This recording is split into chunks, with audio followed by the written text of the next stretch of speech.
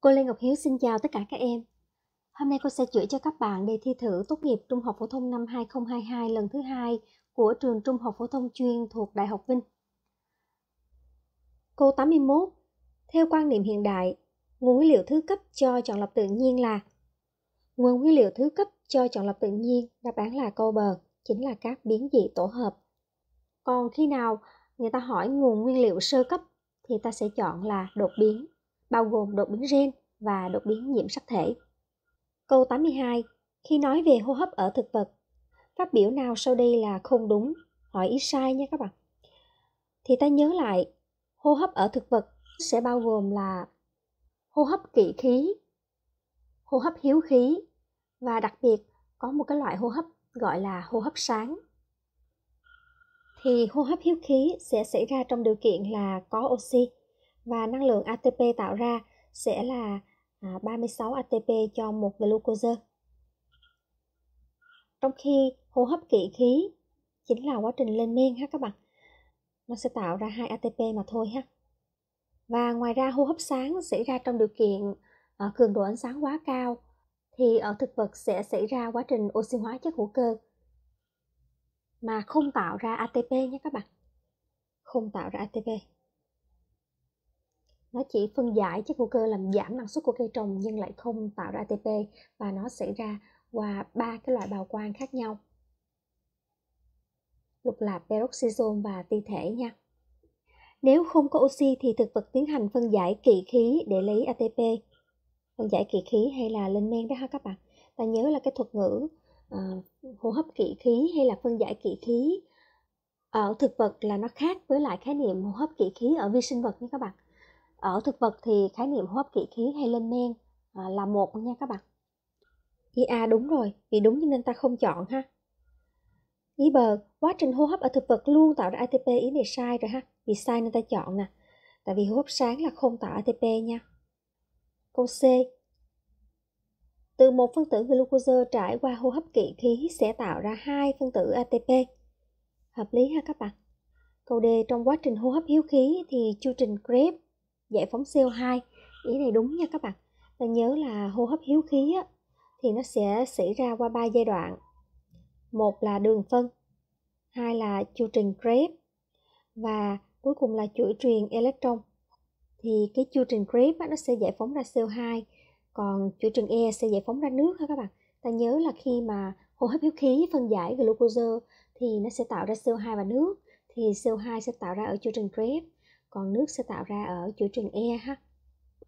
Câu 83 Khi nói về hệ sinh thái nông nghiệp nhận xét nào sau đây là đúng? A. Năng suất cao hơn hệ sinh thái tự nhiên. Ý này đúng đó ha các bạn. 83A ha. Trong hệ sinh thái nông nghiệp thì ta thường xuyên bổ sung thêm vật chất ví dụ như bón phân, tưới nước và có bổ sung thêm các cái chất kích thích tăng trưởng nữa ha thì năng suất nó sẽ rất là cao hơn so với hệ sinh thái tự nhiên. Ngoài ra ta còn có những cái biện pháp bảo vệ mùa màng như là sử dụng thuốc trừ sâu sinh học hóa học hoặc là những biện pháp tiêu diệt cỏ dại, loại bỏ cái hiện tượng khống chế sinh học vốn có trong tự nhiên nên năng suất nó rất là cao ha. Còn câu bờ chuỗi thức ăn dài hơn thì là sai nha các bạn. Tại vì uh, hệ sinh thái nông nghiệp thì nó có rất ít loài, ví dụ trong ruộng lúa thì ta chỉ muốn thu lúa thôi, mà số loài ít á, thì cái chuỗi nó sẽ ngắn ha các bạn. Số loại ít độ đa dạng sẽ thấp chứ không phải là cao nha. Cái độ ổn định nó cũng thấp luôn nha các bạn. Câu 84 số lượng cá thể trên một đơn vị diện tích hay thể tích là đặc trưng nào sau đây của quần thể? Số lượng cá thể trên một đơn vị diện tích hay là thể tích thì đây chính là khái niệm về mật độ, đáp án là câu bờ. Còn nếu chỉ là số lượng cá thể phân bố trong khoảng không gian của à, quần thể đó thì nó lại là khái niệm về kích thước nha các bạn. Còn ở đây là số lượng cá thể trên một đơn vị diện tích hay thể tích thì nó là mật độ. Câu 85 hiện tượng khống chế sinh học có thể xảy ra giữa các quần thể.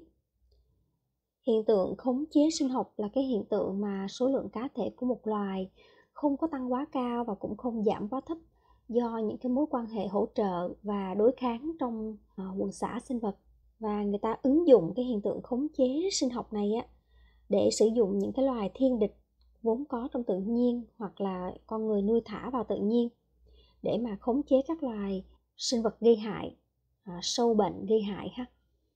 Và thông thường cái loài thiên địch mà ta sử dụng đó chính là à, sinh vật ký sinh và động vật ăn thịt.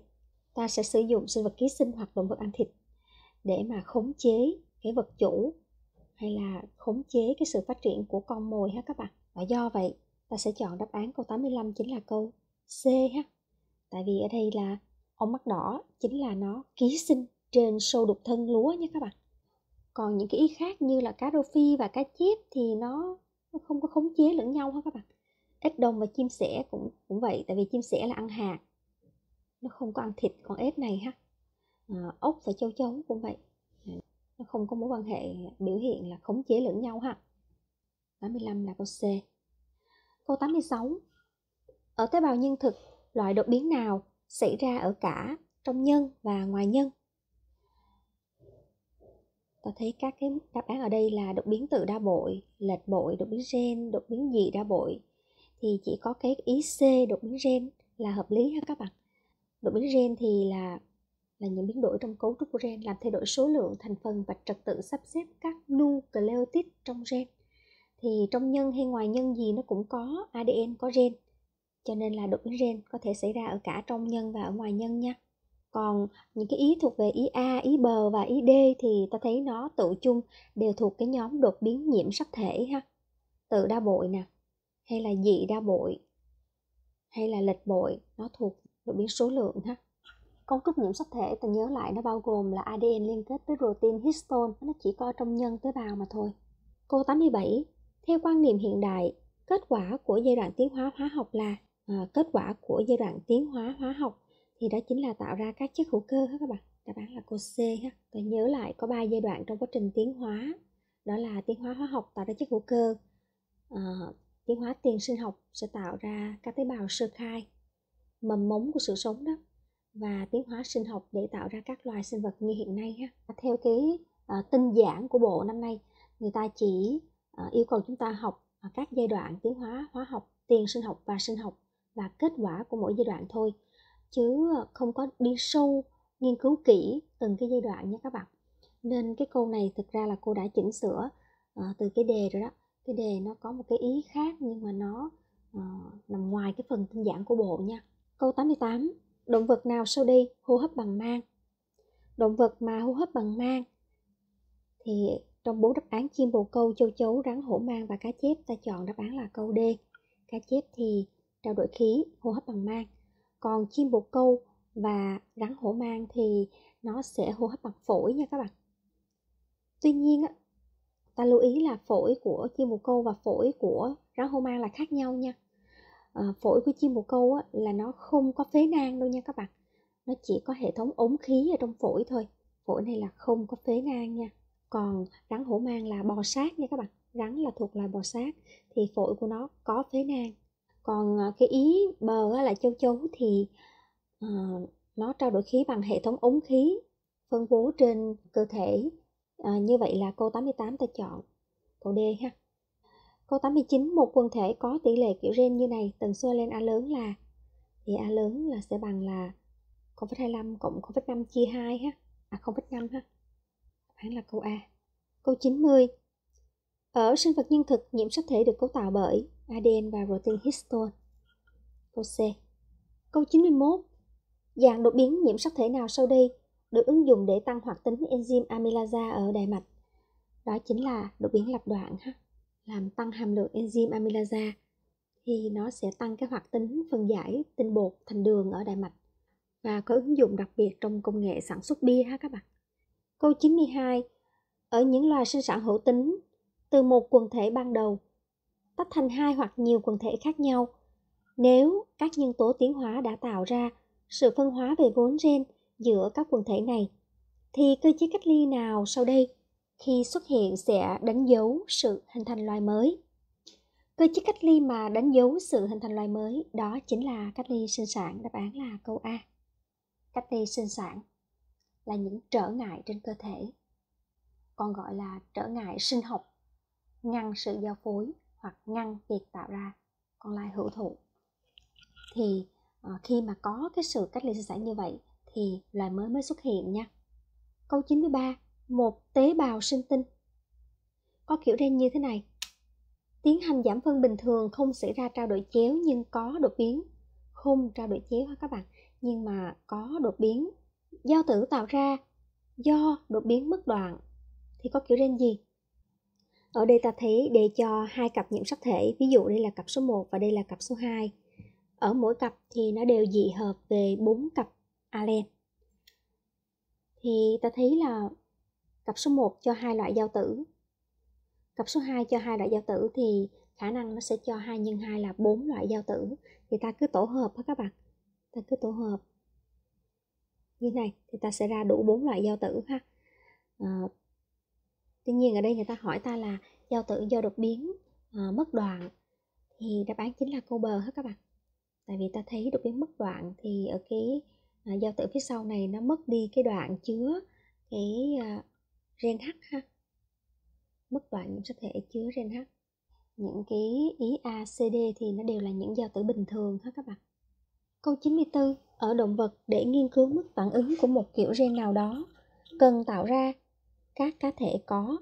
Để nghiên cứu mức phản ứng thì ta sẽ phải tạo ra nhiều cá thể có cùng kiểu gen. Sau đó ta sẽ cho những cái cá thể cùng kiểu gen này sống trong những điều kiện môi trường khác nhau và ta theo dõi cái sự biểu hiện ra kiểu hình. Tập hợp hết tất cả những kiểu hình uh, có thể xuất hiện được nó sẽ tạo ra cái mức phản ứng. Tập hợp tất cả các kiểu hình tương ứng với những điều kiện môi trường khác nhau của cùng một kiểu gen thì nó sẽ tạo ra mức phản ứng ha. Và ở động vật á trong công nghệ tế bào động vật ha thì ta có hai cái phương pháp đó là nhân bản vô tính và ký truyền phôi ha cả hai phương pháp này đều có thể tạo ra à, những con vật có cùng kiểu gen để giúp ta nghiên cứu mức phản ứng của một kiểu gen nào đó nha. Thông thường thì người ta sẽ sử dụng phương pháp ký truyền phôi và ít tốn kém hơn so với nhân bản vô tính ha. Câu 95 trong quá trình phiên mã phiên mã nha các bạn phiên mã là quá trình tổng hợp ra ARN nha. Nucleotide loại A của môi trường. Trong phiên mã tổng hợp ra ARN mà nu là A của môi trường thì đó chính là rna các bạn. Ribonucleotide ha. Nó sẽ bắt cặp với à, loại nào của mạch khuôn. Làm khuôn cho phiên mã có chiều 3,5 phẩy ha các bạn. Thì là RA sẽ phải bắt cặp với T ha các bạn. Ta có bốn là nu ATGX ha. Thì à, trong quá trình phiên mã mRN các cái ribonu tự do nó sẽ đến và liên kết với các nu trên mạch bản gốc theo nguyên tắc bổ sung. Đó là A thì sẽ liên kết với U ha các bạn. T thì sẽ liên kết với A. G thì sẽ liên kết với X. Và X thì sẽ liên kết với G ha các bạn? Là nu lại A đây sẽ liên kết với T. Ở trên mặt bản gốc của gen nha. Đáp án là câu A. Câu 96 số lượng cá thể ít nhất mà quần thể cần có để duy trì và phát triển được gọi là số lượng cá thể ít nhất mà quần thể cần có để duy trì phát triển, ta sẽ gọi là kích thước tối thiểu của quần thể nha còn cái kích thước tối đa là số lượng cá thể lớn nhất quần thể có thể đạt được phù hợp với khả năng cung cấp nguồn sống của môi trường. Câu 97 Để tạo ra các giống cây thuần chủng mang các đặc tính mong muốn, người ta thường sử dụng phương pháp Đáp án sẽ là câu bờ hết các bạn. Để tạo ra giống cây thuần chủng thì người ta sẽ sử dụng phương pháp nuôi cấy hạt phấn hoặc là noãn chưa thụ tinh và sẽ sử dụng à, ví dụ như colchicine để gây lượng bồi hóa thì sẽ tạo ra những cái giống cây thuần chủng chứ không phải là ý A, C hay D nha các bạn. Câu 98. Bọ xít có vòi chích dịch từ cây mướp để sinh sống. Bọ xít và cây mướp thuộc mối quan hệ gì? Đây chính là mối quan hệ à, ký sinh vật chủ ha các bạn. Trong đó bọ xít là sinh vật ký sinh, còn cây mướp chính là vật chủ ha các bạn. Cây mướp là vật chủ nè, bọ xít là sinh vật ký sinh. Ta nhớ lại trong cái mối quan hệ à, ký sinh vật chủ á, thì sinh vật ký sinh nó sẽ sử dụng à, chất sống lấy từ cơ thể vật chủ để nuôi sống chính nó. Ví dụ như bọ xít ở đây là sẽ sử dụng cái nhựa cây, nhựa cây mướp để mà sinh sống hoặc là mũi nó sẽ à, hút máu động vật hoặc là người à, để sống thì à, mũi so với người, cũng là sinh vật, ký sinh và vật chủ ha các bạn. Thì ta nhớ lại á, là trong cái hiện tượng ký sinh á, thì nó sẽ có hai cái hiện tượng là nội ký sinh và ngoại ký sinh nha. Cái này cô nói thêm thôi. Thì nội ký sinh á, thì là à, ví dụ như con con run hoặc là vi khuẩn lao, nó ký sinh bên trong máu hay là trong đường ruột của cơ thể động vật thì nó là nội ký sinh. Nhưng mà ví dụ như bọ xích với lại cây mướp ở đây á thì nó là ngoại ký sinh. Tuy nhiên muốn sống được thì nó vẫn phải hút cái dịch từ cây mướp nha các bạn. À, nó vẫn phải lấy chất sống từ vật chủ để sinh sống ha nhưng nó không nằm bên trong cơ thể vật chủ thôi. Là mũi với người cũng là thuộc ngoại ký sinh đó các bạn. À, như bạn nhầm lẫn là à, vật ký sinh phải nằm bên trong cơ thể vật chủ thì mới gọi là ký sinh thì không phải nha. Câu 99 theo lý thuyết phép lai nào sau đây cho đời con? Thu được số kiểu gen nhiều nhất thì đây là những phép lai cơ bản của quy luật phân ly. À, ta có thể dễ dàng xác định là trường hợp này á là ra hai kiểu gen ha các bạn? Tỷ lệ 11 nè trường hợp này là hai kiểu gen cũng tỷ lệ 11 trường hợp này đồng hợp lại với nhau thì một kiểu gen và chỉ có câu D là ra ba kiểu gen ha các bạn? Một A lớn A lớn hai A lớn A nhỏ và một A nhỏ nhỏ. Tỷ lệ 121 là có ba kiểu gen nhé có 100 hai chị em gái hai chị em ờ, mang nhóm máu khác nhau là AB và O. Ông bà ngoại họ đều có nhóm máu A kiểu gen tương ứng của bố và mẹ của hai cái cô gái này á là gì? Thì ta nhớ lại trong cái uh, nhóm máu ABO thì nhóm máu AB chính là được quy định bởi IA, IB còn máu O á, là IO, IO là alen lặng hết ha, đồng hợp lặng.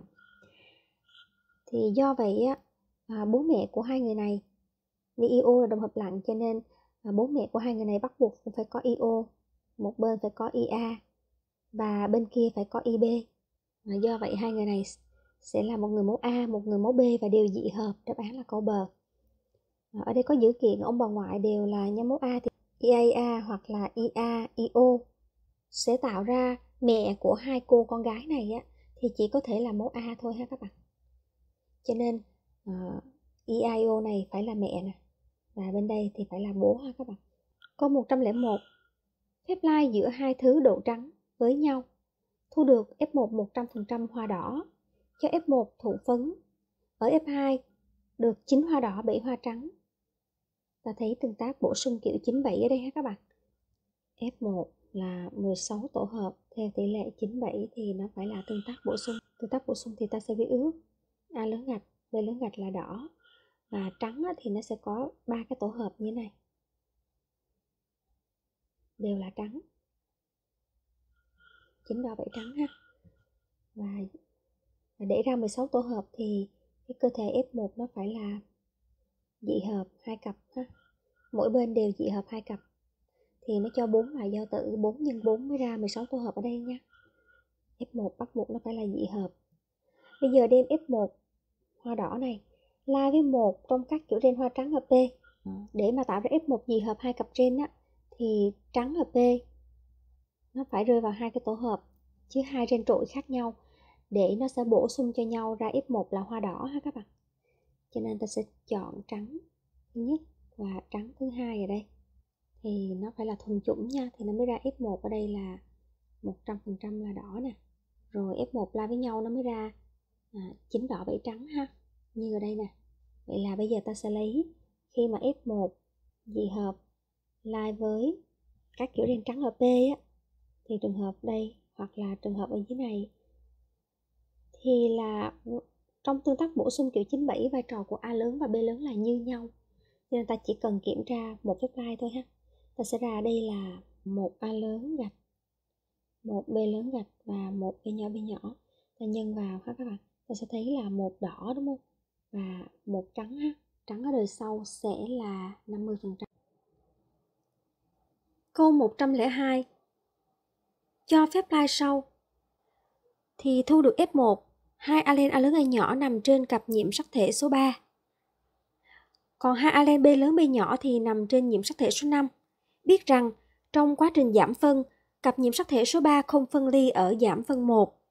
số 3 tức là A lớn A nhỏ ha các bạn à, thì nó sẽ không phân ly trong giảm phân 1 có thể là không phân ly ở bố hoặc là mẹ hoặc thậm chí là không phân ly trong giảm phân 1 của cả bố và mẹ nha. Còn trong khi đó thì cặp nhiễm sắc thể số 5 thì phân ly bình thường là cái cặp B lớn B nhỏ phân ly bình thường. Kiểu gen của con lai mà thuộc thể 3 2N cộng 1 ha các bạn. Thì là có thể là gì? Thì cái thể 3 này á nó chỉ có thể rơi vào cái cặp nhiễm sắc thể à, số 3 nha các bạn. Tức là rơi vào cái cặp nhiễm sắc thể A lớn A nhỏ đó. Thể 3 ở à, cái cặp A lớn A nhỏ thôi. Còn cái cặp số 5 nè. Cái cặp số 5 á, thì là nó à, phân ly bình thường cho nên ta tách riêng cái cặp số 5 ra là B nhỏ B nhỏ lai B lớn B lớn thì đời con chắc chắn là 100% B lớn B nhỏ nha các bạn. À, đời con chỉ có một kiểu gen B lớn B nhỏ thôi. Trong khi đó ở cặp số 3 nếu như rối loạn trong giảm phân của bố ha thì có phải là cô đến dấu sao đây nha các bạn.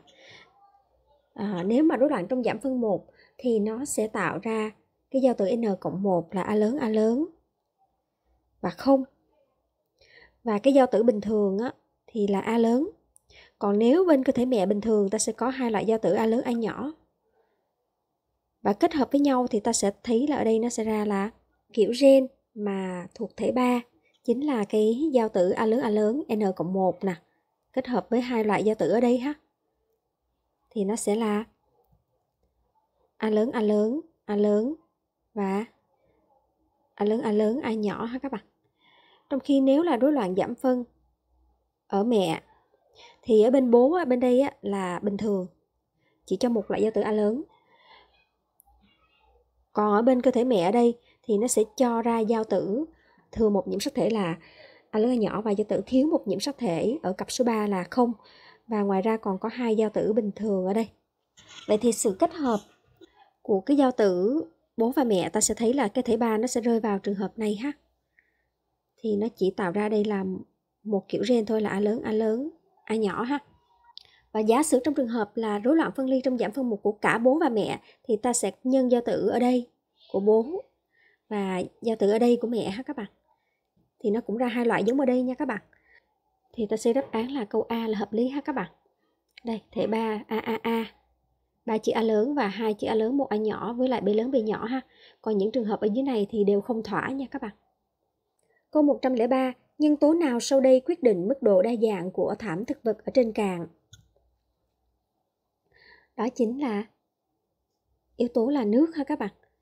Là ta nhớ lại là nước có vai trò rất là quan trọng đối với sự sống ở cấp độ tế bào thì ta thấy là nước nó cấu tạo nên tế bào nè. Rồi nó là dung môi hòa tan các chất cần thiết cho tế bào. Nước cũng là môi trường cho các cái phản ứng sinh hóa xảy ra trong tế bào. Và thậm chí ờ, ở thực vật là nước còn trực tiếp tham gia vào ờ, cung cấp nguyên liệu cho quá trình quang hợp. Hydro và electron cung cấp cho pha sáng của quang hợp. Cho nên là nước là nó quan trọng, nó quyết định cái mức độ đa dạng của thảm thực vật nha. Câu 104 nhận định nào sau đây đúng về hoạt động của hệ hô hấp và tuần hoàn ở người? Khi nâng vật nặng huyết áp tăng và vận tốc máu giảm. Ý này sai rồi hả các bạn?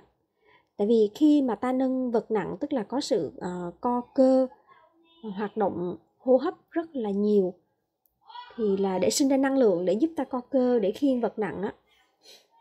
Thì khi mà hô hấp nhiều á thì nó sẽ tạo ra nhiều CO2 và lúc bấy giờ CO2 sẽ kết hợp với nước để tạo ra à, H2CO3 và à, nó sẽ phân ly thành ra HCO3 trừ và H cộng ha các bạn.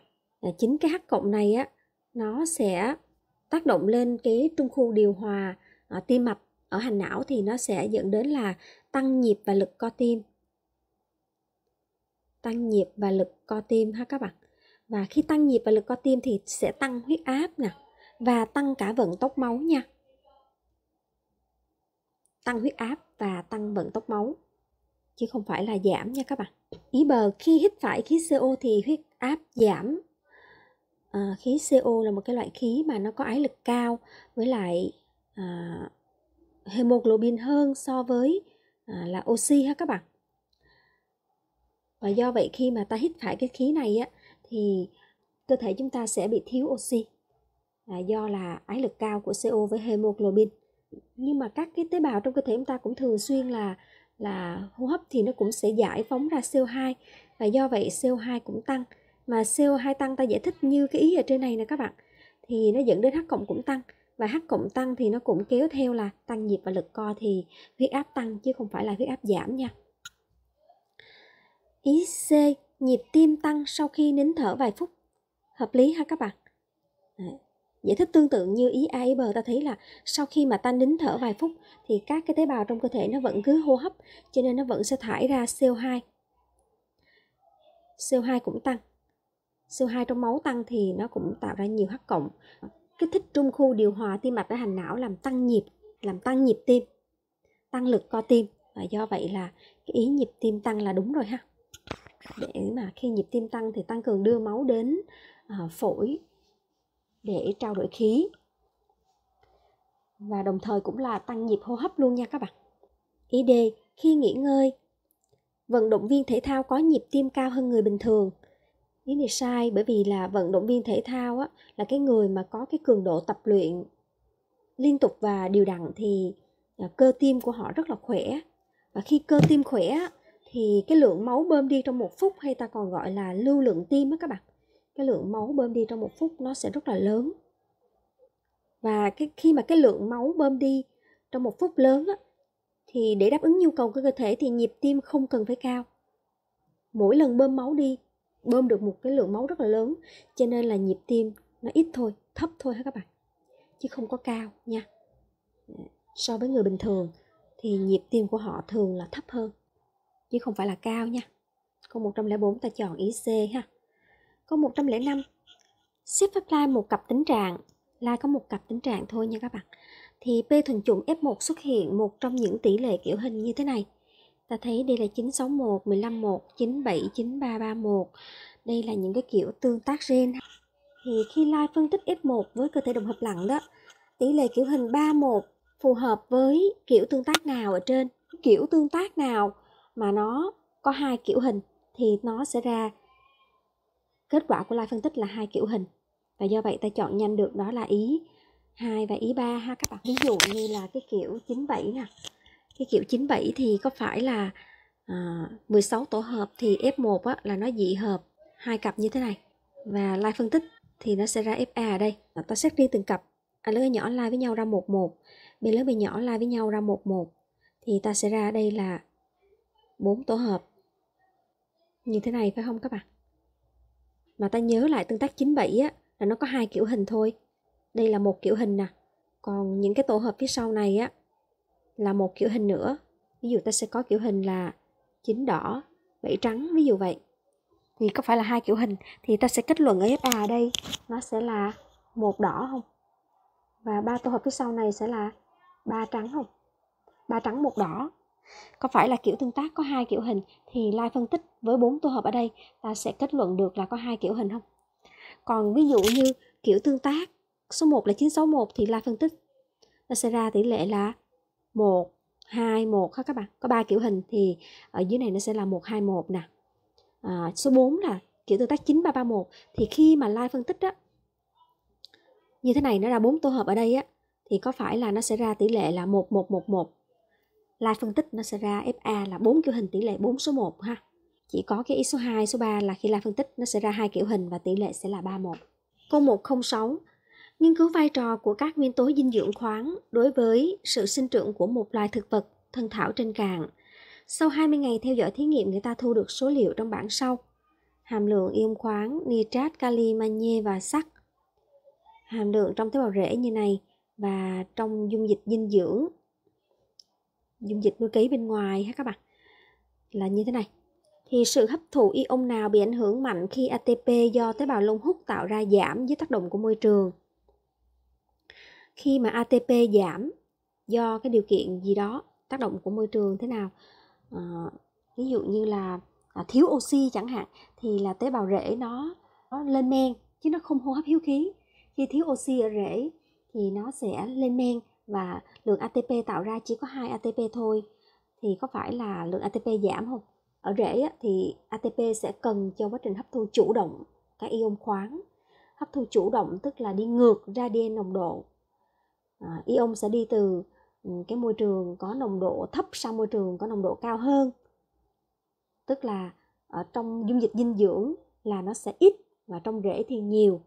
Nhưng mà cây vẫn cần nên cây vẫn hấp thụ cái nguyên tố khoáng đó đi từ uh, môi trường dinh dưỡng có nồng độ thấp sang rễ có nồng độ cao đi ngược ra đi nồng độ như vậy á thì nó sẽ là hấp thu chủ động ha.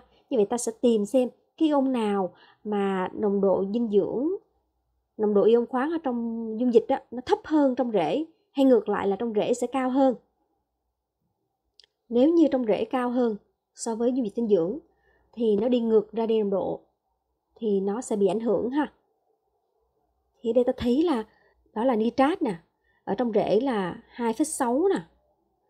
Trong khi là ở trong dung dịch dinh dưỡng là thấp hơn magie ha các bạn? Trong rễ nhiều hơn nè. Như vậy ta sẽ chọn là nitrat và magie đáp án sẽ là câu A ha. Ta nhớ là vận chuyển chủ động các ion khoáng thì nó sẽ đi ngược ra đi nồng độ từ môi trường đất hoặc là dung dịch dinh dưỡng là nồng độ thấp vào trong rễ cây thì nồng độ cao hơn và cần tiêu tốn năng lượng ATP. Quá trình hô hấp hiếu khí thì sẽ tạo ra nhiều ATP cho sự hấp thu chủ động ion khoáng đó. Câu 107 Trong một khu rừng, một nhà khoa học đã phát hiện có hai loài rệp. Một loài sống trên cây loài A, một loài sống trên cây loài bờ, rệp trên cây A và rệp trên cây bờ. Mặc dù rất giống nhau về hình thái nhưng chúng không giao phối với nhau hoặc giao phối với nhau nhưng không tạo được con lai, tức là có sự ờ, cách ly sinh sản ha các bạn. Hai loài rệp trên được hình thành bằng con đường nào? Ta thấy cái ổ sinh thái, nhất là về mặt dinh dưỡng của hai loài này là nó khác nhau. Hai loài rệp này nó hình thành à, từ một cái quần thể rệp gốc ban đầu theo con đường là cách ly sinh thái ha các bạn.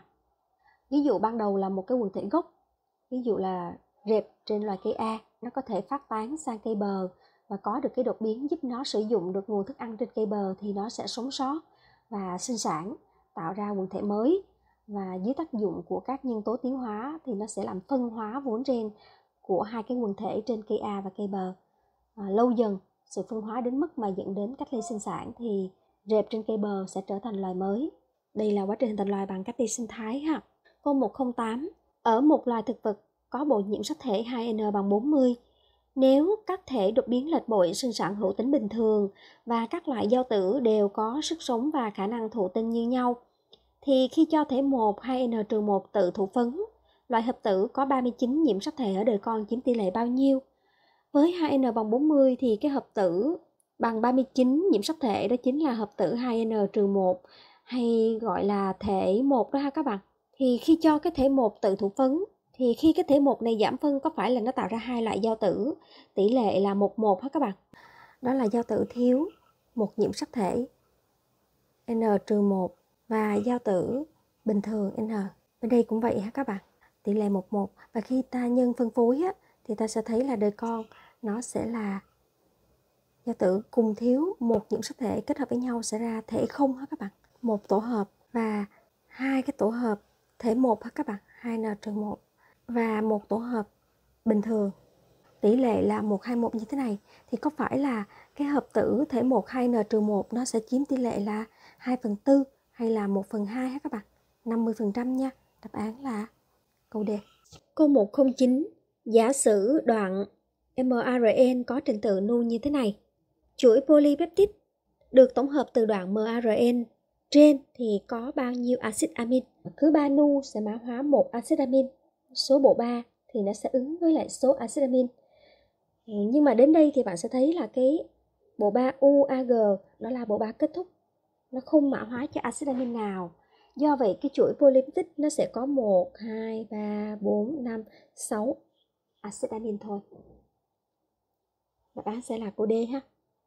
Nếu là protein có chức năng sinh học thì ta sẽ không có tính cái axit amin thứ nhất này nha các bạn.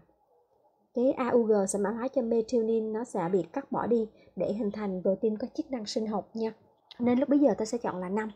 Còn ở đây ta chỉ hỏi chuỗi polypeptide nên đáp án sẽ là 6 nha. Câu 110. Trong cơ chế điều hòa operon lacc ở E. coli, khi môi trường có lactose thì diễn ra bao nhiêu sự kiện sau đây? 1. Gen điều hòa chỉ huy tổng hợp protein ức chế. Trong môi trường có lactose thì lactose đóng vai trò là chất cảm ứng những phân tử màu tím này là lactose nó sẽ gắn vào protein ức chế màu xanh ở đây làm bất hoạt protein ức chế làm cho nó không còn khả năng gắn vào vùng vận hành mất khả năng gắn vào vùng vận hành và khi không có cái protein ức chế gắn vào vùng vận hành để ngăn cản phiên mã thì phiên mã sẽ diễn ra và như vậy là có cái mRNA được phiên mã sau đó thì các cái ribosome các cái ribosome sẽ bám lên trên cái mRNA này để dịch mã tổng hợp ra các loại protein lactate, lắc I, lắc A ha. Nói cách khác là cứ có lactose là có phiên mã. Và có phiên mã thì sẽ có dịch mã để tạo ra các protein enzyme cần thiết cho sự hấp thụ và sử dụng đường lactose. Giờ ta sẽ kiểm tra lại các phát biểu ha. Gen điều hòa chỉ huy tổng hợp protein ức chế.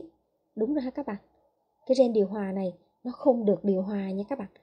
Bản thân nó luôn biểu hiện, luôn tổng hợp ra protein ức chế ta gọi là gen điều hòa, nó không được điều hòa nó luôn biểu hiện nha chỉ có cái operolat này nó mới được điều hòa có lactose thì có biểu hiện phiên mã dịch mã. Không lactose thì là không phiên mã, không dịch mã. Y hai lactose kết hợp với protein ức chế. Làm protein ức chế không liên kết được với vùng vận hành. Đúng rồi ha các bạn. Khi lactose kết hợp với protein ức chế làm bất hoạt nó, làm cho nó không gắn được với vùng vận hành. Cái này đúng nha. 3. Quá trình phiên mã của các gen cấu trúc bị ức chế không tổng hợp được mRNA. Ý này sai hết các bạn? Có tổng hợp ra mRNA và có dịch mã tổng hợp protein h. ARN polymerase có thể liên kết được với vùng khởi động để tiến hành phiên mã. Đúng rồi ha các bạn. Đây. ARN polymerase liên kết với promoter và sau đó sẽ trực dọc theo cái operolat này để mà tiến hành à, phiên mã operolat đây ARN polymerase tạo ra mRNA ở đây ha. Ý này là đúng nha các bạn. Như vậy có 3 ý đúng, đáp án sẽ là câu C ha. Câu 111. Ở một loài thực vật, A lên A lớn quy định hoa đỏ, trội hoàn toàn so với A nhỏ quy định hoa trắng. Tính trạng chiều cao của cây được quy định bởi hai gen. Mỗi gen có hai alen B lớn B nhỏ, D lớn D nhỏ phân ly độc lập. A lớn là hoa đỏ, A nhỏ là hoa trắng. Còn chiều cao á thì do hai cặp gen BD quy định ha các bạn. Cho P cây thân cao hoa đỏ. Dị hợp tử về ba cặp gen. Lại phân tích ha các bạn. Thì FA thu được tỷ lệ kiểu hình như thế này. 7, 18, 32, 43. Có bốn kiểu hình tỷ lệ như thế này.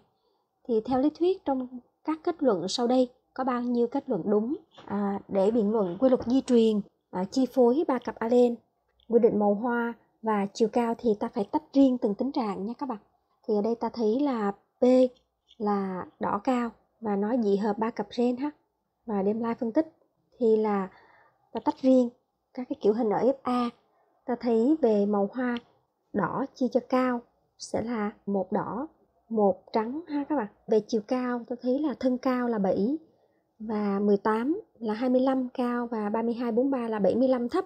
Như vậy có phải là 25 75 là một cao và ba thấp đúng không các bạn? Và la phân tích, về chiều cao mà ra một cao ba thấp tức là sẽ có 1 phần tư kiểu hình à, biểu hiện giống như là ở P dị hợp hai cặp gen vậy đó. Thì bắt buộc đây phải là tương tác bổ sung kiểu 97 ha các bạn. 9 cao 7 thấp nha. Tương tác bổ sung kiểu 97. Và nếu là tương tác bổ sung kiểu 97 thì ta hoàn toàn có thể uh, quy ước gen ha các bạn ta sẽ có BD thì là cao còn những cái tổ hợp khác thì sẽ là thấp ha các bạn trong khi về tình trạng màu hoa thì ta thấy là kiểu gen dị hợp A lớn A nhỏ biểu hiện là màu đỏ cho nên là A lớn phải là đỏ và A nhỏ phải là trắng nha khi mà xét chung hai cái tính trạng này á thì có phải là xét riêng rồi nè bây giờ tới xét chung thì ta thấy là một một mà nhân cho à, một ba ở đây thì nó sẽ khác với lại cái tỷ lệ kiểu hình ở đề cho là 7, 18, 32, 43 ở đây ha các bạn. Và do vậy là ba cái cặp alen này nó không thể phân ly độc lập với nhau nha. Mà ta thấy là hai kiểu hình nhân với hai kiểu hình ở đây thì nó ra bốn kiểu hình đầy đủ nhưng tỷ lệ khác với đề thì nó phải có hoán vị gen. Tức là ta sẽ có A lớn A nhỏ quy định màu sắc hoa nó sẽ liên kết không hoàn toàn đâu. Có hoán vị gen với à, một trong hai cặp và tương tác 97 ở đây á thì vai trò của B lớn D lớn là như nhau cho nên A lớn A nhỏ liên kết với BD cũng được hoặc là à, liên kết với D lớn D nhỏ cũng được ha vai trò của những gen trội là giống nhau ta giả sử A lớn A nhỏ liên kết với B lớn B nhỏ thì vì có hóa vị gen ta sẽ chọn uh, cái tổ hợp nào mà đơn giản nhất. Trong hai cái tính trạng này đơn giản hơn á thì có phải là phải là cao không các bạn? Ta liên kết cái ý đỏ cao hoặc là trắng cao cũng được. Cô sẽ chọn đỏ cao nha là 7% 7 chia cho 100 tức là 7% 0,07 ha các bạn? Thì cái đỏ cao này ta giả sử A liên kết với B thì nó có phải là cái đỏ cao FA là 0,07 mà là lai phân tích. Cho nên cái đỏ cao này à, nó sẽ phụ thuộc vào cái giao tử A lớn BD lớn đúng không các bạn? Ta giả sử A lớn với B nên ta sẽ có cái giao tử này cũng chính là bằng 0,07 lai phân tích mà. Cho nên tỷ lệ kiểu hình phụ thuộc vào tỷ lệ giao tử của cái cây P á ta sẽ có cái giao tử này bằng 0,07 và do vậy cái D lớn D nhỏ khi giảm phân nó sẽ cho ra D lớn là 1 phần 2 nên ta sẽ có cái giao tử là AB nó bằng là 0,14 và giao tử này có phải là nhỏ hơn 0,25 không? Cho nên cái giao tử AB này nó phải là giao tử hoán vị ha các bạn. Và do vậy à, cái cây P nó phải dị hợp chéo ha. P nó phải dị hợp chéo như này. Và lúc bây giờ F bằng bao nhiêu hết các bạn? A lớn B lớn là 0,14 là giao tử hoán vị thì F bằng 2 lần cái giao tử hoán vị. Cho nên ta sẽ có F bằng 2 lần 0,14 là 0,28 nha. Ý số 1 ta thấy là kiểu gen của P ở đây người ta cho là dị hợp đồng á, là sai rồi ha các bạn. P phải dị hợp chéo nha. Ý 2 ở FA kiểu gen dị hợp 3 cặp gen chiếm 7%, dị hợp 3 cặp gen. Ở FA dị hợp 3 cặp gen tức là như này thì nó phải là phụ thuộc vào cái giao tử này là phân tích nè. Và cái giao tử này ta đã tính ở bên kia là 0,07 là 7% là đúng rồi. Ý 3, cho cây P tự thụ phấn ở F1 thân cao hoa đỏ thuần chủng à, chiếm 0,49%. Khi cho cái cây P dị hợp chéo này tự thụ phấn là nó lai với chính nó ha các bạn. Mà ta hỏi là cây đỏ cao thuần chủng. Cây đỏ cao thuần chủng đỏ là thuần chủng là a lớn a lớn.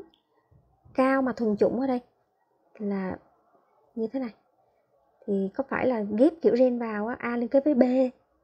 Thì có phải là nó phải là như này không các bạn? Cái tỷ lệ này bằng bao nhiêu? Thì ta phải bằng cái giao tử AB ta đã tính ở trên đây là 0,14 nè. 0,14 bình phương. Nhân cho D lớn D nhỏ là với nhau mà ra. D lớn D lớn là 1 phần tư. Và do vậy ta sẽ tính được chính là 0,49% là đúng rồi ha. Ý này đúng nè. Y4 cho P tự thuộc phấn thì F1 có tối đa 21 kiểu gen và ờ, 4 loại kiểu hình.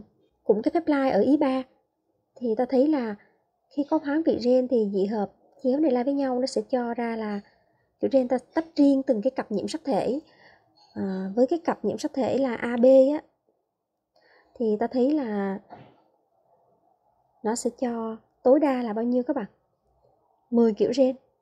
Và đi lớn đi nhỏ là với nhau nó sẽ cho tối đa 3 kiểu gen ta sẽ có là 30 kiểu gen chứ không phải là 21 nha. Kiểu hình á, thì à, màu sắc là hai kiểu hình chiều cao là hai kiểu hình 2 nhân 2 là 4 kiểu hình thì kiểu hình là đúng rồi nhưng mà ở đây phải là 30 nha.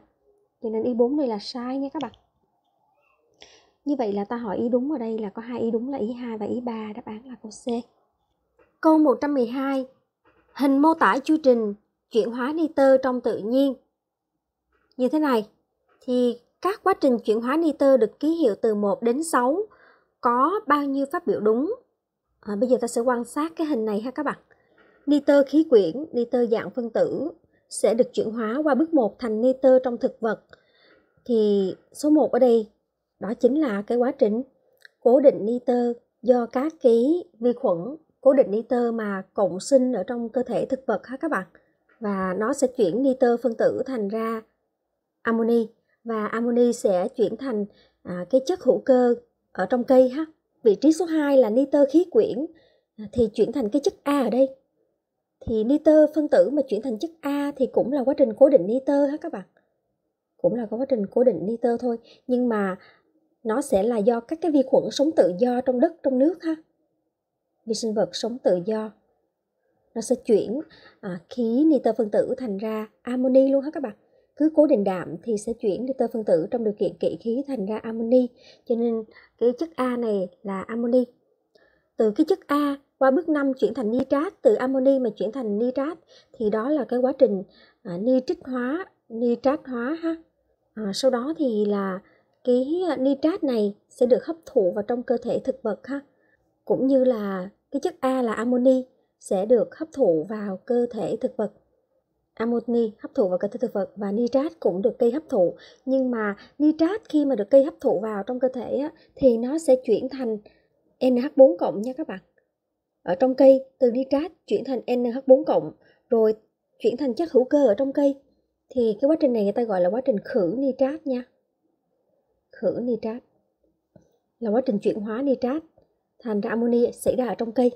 Rồi thì amoni sẽ tham gia cấu tạo nên chất hữu cơ của cây. Sau đó thì cái chất hữu cơ trong cơ thể thực vật sẽ được chuyển thành amoni NH4 cộng qua bước 4 thì chính là nhờ các vi sinh vật phân giải chất hữu cơ. Khi cơ thể thực vật chết hoặc là sát lá cây, nó sẽ được các vi sinh vật phân giải, chuyển chất hữu cơ thành ra amoni. Ta gọi quá trình này là quá trình amon hóa nè. Và ở đây có một cái bước số 6 ở đây là từ nitrat mà chuyển ngược lại thành ra nitơ trong khí quyển đây chính là cái quá trình phản nitrat ha các bạn bước 6 là phản nitrat một quá trình một là kết quả của mối quan hệ cộng sinh giữa vi khuẩn và thực vật đúng ra các bạn quá trình 1 là chuyển nitơ phân tử thành amoni xảy ra nhờ vi sinh vật cộng sinh trong cơ thể thực vật đúng rồi 2. Quá trình 2 và 4 đều có sự tham gia của sinh vật phân giải. 2 là nhờ vi khuẩn cố định nitơ sống tự do và 4 là 4 mới là nhờ sinh vật phân giải nha các bạn. Cho nên ý 2 là không đúng nha. Ý 3, quá trình 5 có sự tham gia của ba nhóm vi khuẩn nitrit hóa, nitrat hóa và vi khuẩn cố định nitơ. Cái quá trình số 5 ở chỗ này á thì vi khuẩn nitrit hóa, nitrat hóa là đúng rồi chứ không phải là bao gồm luôn cả cố định nitơ nha các bạn. Cái quá trình vi khuẩn cố định nitơ trong đất là cái quá trình số 2 mới đúng. Cho nên ý 3 là sai nè. Ý 4, quá trình 6 làm giảm lượng nitơ trong đất, khép kín chu trình nitơ. Ý này đúng rồi ha các bạn. Như vậy, câu 112 có hai ý đúng là ý 1 và ý 4 đáp án là câu A. Câu 113, vai trò của các nhân tố tiến hóa trong quá trình hình thành loài mới thì có bao nhiêu phát biểu sau đúng? 1. Quá trình đột biến và giao phối không ngẫu nhiên tạo nguyên liệu do chọn lọc tự nhiên. Ý này đúng rồi ha các bạn. Đột biến tạo nguồn nguyên liệu sơ cấp, giao phối tạo nguồn nguyên liệu thứ cấp. 2. Yếu tố ngẫu nhiên và di nhập gen làm thay đổi nhanh tần số của các alen, nhờ đó có thể làm tăng tốc độ hình thành loài mới. Đúng rồi ha các bạn. À, yếu tố ngẫu nhiên nó sẽ gây ra cái sự thay đổi đột ngột về tần số alen thành phần kiểu gen và di nhập gen cũng vậy sự thay đổi đột ngột đó người ta gọi là thay đổi nhanh về tần số lên và do vậy làm tăng nhanh tốc độ hình thành loài mới là đúng nha. Ý ba, chọn lọc tự nhiên là nhân tố quy định chiều hướng và nhịp điệu biến đổi tần số tương đối của các alen. Lựa chọn những tổ hợp alen đảm bảo sự thích nghi với môi trường. Ý ba đúng ha các bạn. Chọn lọc tự nhiên là nhân tố mà quy định cái chiều hướng và nhịp điệu biến đổi tần số tương đối của các alen. Ý 4 giao phối không ngẫu nhiên và di nhập gen làm thay đổi tần số alen nhanh chóng ý này sai rồi ha các bạn tại vì ờ, uh, giao phối không ngẫu nhiên á thì nó không làm thay đổi tần số alen đâu giao phối không ngẫu nhiên như là gì thực vật tự thụ phấn động vật giao phối gần hoặc là giao phối có lựa chọn thì là nó không làm thay đổi tần số alen cho nên câu 113 có 3 ý đúng đó là 123 đáp án câu bờ Câu 114, phả hệ dưới đây ghi nhận đặc điểm kiểu hình màu sắc lông ở chuột. Genera do các alen của một gen nằm trên nhiễm sắc thể thường quy định. Có bao nhiêu phát biểu đúng? Tính trạng màu sắc lông do một gen có 3 allen quy định. Thì ta thấy ở đây có ba màu là đỏ, nâu và và đen ha. Đỏ, nâu và đen. Như vậy là có bao nhiêu allen sẽ có bấy nhiêu kiểu hình nha các bạn. Như vậy đây ta thấy có À, ba kiểu hình thì sẽ do ba allen là đúng rồi thứ tự trội lặng là đen trội hơn so với đỏ so với nâu và ví dụ thì ý này là đúng nha thì đen đỏ nâu ví dụ đen là A1 đỏ là A2 và nâu là A nhỏ. Và nếu như cái ý này đúng á, thì ta kiểm tra ha các bạn. Có phải là số 1 là đen là A1 gạch và số 2 là nâu là lặng nhất không? Và số 4 là nâu á thì nó là A nhỏ A nhỏ. Số 5 là đen thì là A1 gạch và do số 4 là nâu cho nên suy ngược lại cái con số 1 này nó phải là A1 A nhỏ ha. Số 1 giao phối với số 4 ra số 8 đỏ. Đỏ thì nó phải là A2 gạch. Và đỏ nó phải nhận một cái A nhỏ từ cái con số 4 cho nên nó phải là A2 A nhỏ. Và cái A2 này á, bắt buộc nó phải nhận từ đâu các bạn? Có phải là nó phải nhận từ cái con số 1 màu đen không? Như vậy là cái con số 1 này nó phải là chứa A2 như vậy là nó rất là mâu thuẫn ha các bạn ta xét cái cặp bố mẹ 1 với 2 ở đây. Thì ra số 4 là nâu thì à, cái số 1 này nó phải có chứa A nhỏ. Nhưng mà xét cái phép lai 1 với 4 á, thì ra 8 á, thì cái điên này nó phải chứa A2 thì là mâu thuẫn ha các bạn. Những cá thể này bình thường hết không có đột biến. Thì là không thể nào là đen nó vừa chứa cả A2 vừa chứa cả A nha. Cho nên cái trường hợp này là ta không chọn rồi. Ý này là ý sai nha các bạn. Ý này là ý sai ta thấy là một lai với nâu mà ra nâu đen. Rồi đen lai với nâu ra đỏ. Như vậy khả năng rất cao là là nâu nó sẽ trội hơn so với đỏ. Đen là trội nhất ha. Sau đó đến nâu rồi mới đến đỏ nha. Nó phải là đen, trội hơn so với nâu và trội hơn so với đỏ nha các bạn. Và lúc bấy giờ thì ta sẽ quy ước, cái chỗ này sẽ là A1 A2 và đỏ sẽ là A nhỏ ha ta sẽ vi ước lại cái chỗ này. Đen sẽ là A1 gạch nâu sẽ là A2 gạch. Và xuất hiện đen nâu ở đây. Nâu A2 gạch đen A1 gạch. Rồi số 1 với số 4 á, thì nó sẽ ra đây. Đỏ là A A nhỏ A nhỏ. Và do vậy à, nâu ở đây và đen ở đây nó phải có chứa A nhỏ ha. Rồi à, đen lai với đỏ. Đỏ A nhỏ A nhỏ đây? Ra nâu. Nâu ở đây là A2 vậy thì ta sẽ thấy là cái đỏ ở đây á, nó sẽ cho cái con số 9 này một cái A nhỏ ở đây nè. Và cái A2 là nâu á, nó phải nhận từ cái con số 5 này ha các bạn. Chỗ này phải là A2 nè. À, A2 không thể nhận từ con đỏ nhất à? Bởi vì đỏ đây nó là lạnh nhất ha. Vậy là hợp lý ha các bạn. Còn nâu ở số 7 thì sẽ là A2 gạch nè. Đỏ ở đây là A nhỏ A nhỏ nè. Còn cái con nâu số 2 ta không xác định được kiểu gen ha. Ý ba, các cá thể lông đen đều có kiểu gen dị hợp. Lông đen ha các bạn. Đen đây. Đen đây. Có hai con lông đen thì nó đều là dị hợp là đúng rồi ha các bạn. Đây ở đây. Đúng nha. Ý ba đúng. Ý 4. cá thể lông nâu số 9 có kiểu gen đồng hợp, sai rồi hả các bạn cá thể lông nâu số 9 là dị hợp A2A nè cho nên câu 114 có hai ý đúng là câu D nha ý 1 và ý 3 ha Câu 115. Sơ đồ mô tả quá trình nhân đôi ADN đang thực hiện ở hai điểm tái bản, có bao nhiêu phát biểu đúng? Thì ta thấy đây là có hai cái đơn vị hay là hai cái à, bóng sao chép. Thì ở đây ta có cái à, đồ 3 phẩy và 5 phẩy ở đây nha. Do cái đồ 3 phẩy ở đây á thì ta sẽ xem nè, cái mặt khuôn ở đây. Thì cái chỗ mà chỗ này ta sẽ xem nó là 5 phẩy và cái chỗ ngay chỗ này á, sẽ là 3 phẩy ha. Và à, cái mặt khuôn mà có chiều 5 phẩy thì cái chỗ vị trí cắt chỗ này á, nó sẽ là 3 phẩy. Và vị trí cắt chỗ này của cái mặt khuôn sẽ là 5 phẩy ha. Do vậy à, ta sẽ thấy là ở cái mặt khuôn mà có chiều ờ, à, 3,5 phẩy á, thì mặt bổ sung cô vẽ lại cái mặt bổ sung nó sẽ có chiều như này nè các bạn. Nó sẽ có chiều liên tục.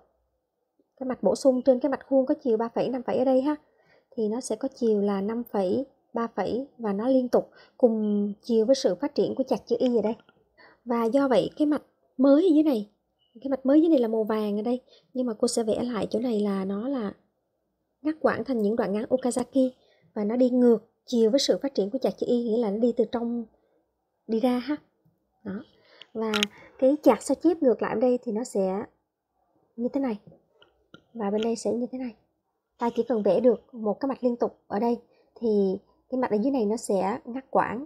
Và cái chạc đối diện ở đây thì nó sẽ cùng chiều và đi ra đây nha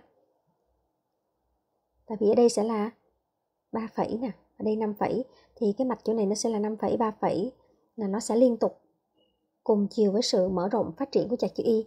Và cái mạch mới ở bên này thì nó sẽ ngược lại như thế này. Thì cô đã vẽ lại à, để chúng ta dễ trả lời những câu hỏi bên dưới ha. Mạch mới số 1 và số 2 tổng hợp liên tục. Số 1 và số 2 đang nói ở đây nè các bạn. Thì nó thuộc về cái chỗ nè số 1 đây. Và số 2 đây cô vẽ lại để cho bạn dễ nhìn ha thì cái số 1 và cái số 2 thì số 1 là không liên tục và số 2 là liên tục nha các bạn. Cho nên là ý này là một ý sai nha. Chỉ có một là không liên tục còn hai nó sẽ là mạch liên tục nha.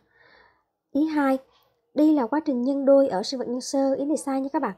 Chỉ có sinh vật nhân thực á sinh vật nhân thực thì nó mới uh, nhân đôi ở nhiều cái bóng sao chép nhiều cái đơn vị nhân đôi như thế này chứ còn ở sinh vật nhân sơ con vi khuẩn thì nó chỉ có một đơn vị nhân đôi chứ nó không có nhiều đơn vị nhân đôi như thế này. Bởi vì ADN ở sinh vật nhân thực á, thì nó rất là lớn cho nên nó sẽ cùng một lúc đồng thời diễn ra ở nhiều cái điểm tái bản nhiều cái bóng sao chép cùng một lúc. Chứ còn ở sinh vật à, nhân sơ thì ADN nó kích thước nhỏ nó chỉ cần có một cái đơn vị nhân đôi như thế này là được rồi ha. Đảm bảo quá trình nhân đôi của nó nha. Ý 3, đoạn mạch mới số 3 và đoạn mạch mới số 4 cùng chiều tổng hợp. Đoạn mạch mới số 3 đây. Là cái chỗ này ha. Số 4 đây. À, cô vẽ lại cho ta dễ nhìn thì bạn thấy là nó cùng chiều ha. Là đúng rồi. Ý 4 đoạn mạch mới số 2 và số 3 được tổng hợp liên tục. Số 2 và số 3 à, là đúng rồi nha. Như vậy có hai ý đúng là ý 3 và ý 4 đáp án là câu B câu 116 một lưới thức ăn của hệ sinh thái rừng được mô tả như sau có bao nhiêu phát biểu sau đây đúng. Nếu chim gõ kiến bị tiêu diệt thì số lượng diều hâu và trăng có thể giảm. Gõ kiến bị tiêu diệt thì số lượng diều hâu và trăng có thể giảm. Diều hâu và trăng. Hợp lý ha các bạn? Mặc dù diều hâu và trăng á, thì có nhiều nguồn thức ăn khác nhau. Tuy nhiên là nếu mà chim gõ kiến à, bị tiêu diệt á, thì diều hâu và trăng nó đều sử dụng gõ kiến thì có thể giảm là hợp lý ha các bạn có thể là hợp lý. À, còn chắc chắn thì không ha các bạn? Bởi vì diều hâu có thể ăn sóc và trăng thì còn có thể ăn sóc và thằng lằn nữa nha. Nhưng có thể thì ta chọn thôi. Ý hai số lượng xén tóc chỉ bị khống chế bởi số lượng chim gõ kiến. Số lượng xén tóc Đây. chỉ bị khống chế bởi chim gõ kiến là sai đó các bạn? Tại vì á Ờ, à, xén tóc nó bị gõ kiến và thằng lằn ăn. Là xén tóc nó bị khống chế bởi gõ kiến và thằng lằn bị hai đối tượng khống chế lận ha hai loài ăn thịt nó. Cho nên là chỉ là sai rồi. Ý ba chim gõ kiến và thằng lằn có mối quan hệ cạnh tranh. Gõ kiến và thằng lằn thì đều ăn xén tóc cho nên nó cạnh tranh về nguồn thức ăn là xén tóc thì đúng rồi. Ý bốn trong lưới thức ăn này có 5 chuỗi thức ăn. Thực vật nè sóc là một thực vật sóc trăng là hai thực vật xén tóc gõ kiến diều hâu là ba. Thực vật xén tóc gõ kiến, trăng là 4 thực vật xén tóc thằng lằn, trăng là 5 nha. Có 5 chuỗi là đúng rồi. Như vậy là câu này có hai ý đúng, đáp án là câu C, ý 3 và ý 4 ở một loài thú thú là động vật có vú. Thú hay là động vật có vú ha các bạn? Thì con cái là XX và con đực là XY ha. Màu lông do hai cặp alen quy định màu lông thì do hai cặp alen a lớn a nhỏ b lớn b nhỏ. Chiều dài thì do d lớn d nhỏ quy định. À, a lớn a nhỏ thì nằm trên nhiễm sắc thể thường. Còn hai cái cặp b và d á, thì nó lại nằm trên x. A thì nằm trên nhiễm sắc thể thường. Còn cái b này thì nó cùng nằm trên nhiễm thể x với cái cặp d lớn d nhỏ mà quy định chiều dài của cái đuôi cơ. A lớn A nhỏ, B lớn B nhỏ là cùng tương tác qua lại để quy định màu lông. Nhưng cái vị trí gen của nó trên nhiễm sắc thể thì là A lớn A nhỏ là có một cặp A lớn A nhỏ nằm trên nhiễm thể thường. Còn cái cặp B lớn B nhỏ và D lớn D nhỏ quy định chiều dài đuôi nó lại liên kết với nhau trên nhiễm sắc thể giới tính X cơ. Ở thế hệ P cho con đực lông đen đuôi ngắn cho với con cái cũng đen ngắn luôn. À, tạo ra F1 có tỷ lệ như thế này có hai kiểu hình ở con cái và 6 kiểu hình ở con đực ha các bạn. P nè con đực đen ngắn. Lai với cái cũng đen ngắn luôn. Thì ở F1 à, ờ, để mà biện luận quy luật di truyền thì ta sẽ phải xét chung cả hai giới ha các bạn. À, xét chung cả giới cái và giới đực ta tổng kiểu hình. Ở đây ta sẽ có bao nhiêu màu lông đi các bạn màu lông có mấy kiểu hình ha? Ta xem màu sắc lông có mấy màu ha? Đen nè đen đen ha. Rồi à, có vàng và có trắng có ba cái màu lông đen vàng trắng ha các bạn. Màu xanh đen này á, thì nó sẽ là 56,25% ha các bạn. Vàng là ta sẽ có là 12,5 16,25 và 8,75 thì ta sẽ có là 37,5 ha. Và trắng thì là 5 với lại 1,25 là 6,25% và tỷ lệ 56 37,5 6,25 thì 56,25 thì có phải là 9 phần 16 không các bạn? Và 6,25 là à, 1 phần 16 và do vậy chỗ này à, ta đoán nó sẽ là 6 phần 16 ha. Như vậy tỷ lệ nó sẽ là 961 ha tương tác bổ sung kiểu 961 và do vậy ta sẽ quy ước sẽ có A lớn gạch B lớn gạch là đen. A lớn gạch B nhỏ B nhỏ. A nhỏ nhỏ B lớn gạch. Cả hai đứa này là vàng. Và đồng hợp lặng là trắng nha. Tương tác bổ sung kiểu 961 đó là về cái tính trạng màu lông về tính trạng là chiều dài đuôi á. Thì có ngắn có dài. À, tính trạng chiều dài do cặp gen D lớn D nhỏ là một cặp gen quy định. Thì 15 với 8,75 với 1,25 là nó sẽ là 10 với 15 là 25%. Như vậy là dài 25% còn lại sẽ là 75% ngắn, tức là ba ngắn một dài ha. ba ngắn một dài. Và do vậy ta sẽ có là D lớn là ngắn và D nhỏ sẽ là dài ha. Bây giờ ta sẽ à, xét chung hai tính trạng. Thì trên đề người ta đã nói là à, cái A lớn A nhỏ nó nằm riêng trên nhiễm tử thường BD thì cùng nằm trên X ha các bạn B và D nó cùng nằm trên X và ở đây là có hóa vị gen nha các bạn. Và ở đây có hóa vị gen. Lý do tại sao có hóa vị gen? Chứ không thể nào liên kết hoàn toàn bởi vì ta thấy là à, ở à, màu lông thì có ba kiểu hình chiều dài đuôi thì có hai kiểu hình và số kiểu hình tối đa sẽ là 6 kiểu hình. Và ở dưới đực XY thì nó sẽ cho tối đa là 3 nhân 2 là 6 kiểu hình và nó phù hợp với ở đây. À, giới đực là có 6 kiểu hình ở đây ha các bạn.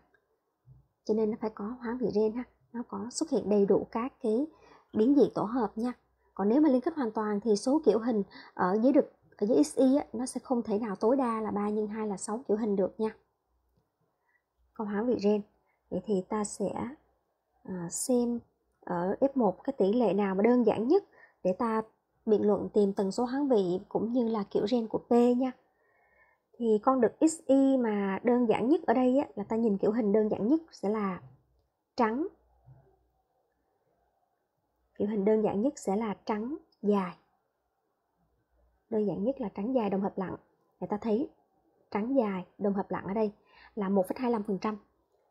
Con đực trắng dài ha. Nhỏ nhỏ b nhỏ b nhỏ dài là d nhỏ d nhỏ đó là về kiểu hình mà ta bắt qua kiểu gen thì ta sẽ thấy là a nhỏ nhỏ trên những cái thường và con đực trắng dài thì nó phải là B, D, I cái chỗ này nó sẽ bằng 1,25% và do vậy bố mẹ đều là A lớn A nhỏ la với nhau để làm xuất hiện đời con có ờ, uh, 16 tổ hợp về uh, màu lông á, thì P có phải là phải dị hợp A lớn A nhỏ la với nhau ra A nhỏ nhỏ thì có phải là 1 phần tư không các bạn? Nhân cho XBD nhân cho Y thì nó sẽ là 1 phần 2 Y. Và do vậy ta sẽ tính được là XBD nhỏ sẽ bằng là 0,1 ha các bạn? Và 0,1 tức là nó nhỏ hơn 0,25% cho nên đây là giao tử hoán vị F bằng luôn là 0,2 ha F bằng 2 lần xpd thì vì là xpd là giao tử hoán vị nên cái con con cái ở P các bạn bắt buộc nó phải là dị hợp chéo nha. Con cái ở P nó phải dị hợp chéo nó phải như thế này.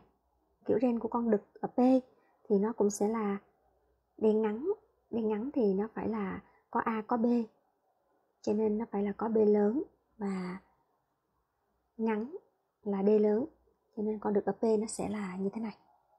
Và do vậy ý một là ý sai rồi ha các bạn. Tại vì người ta cho con cái là dị hợp đồng sai các bạn. Con cái phải dị hợp chéo nha.